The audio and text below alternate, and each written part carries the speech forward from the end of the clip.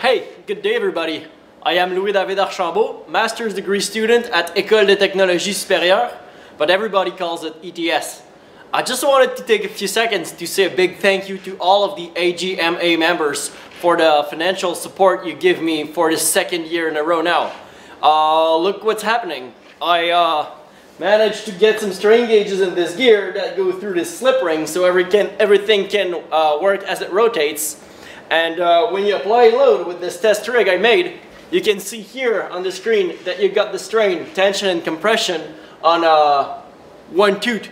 So uh, just to show you that uh, it's really concrete stuff that works for real. Uh, again, thanks a lot for your uh, support in uh, my master's degree project and hoping to present my results soon.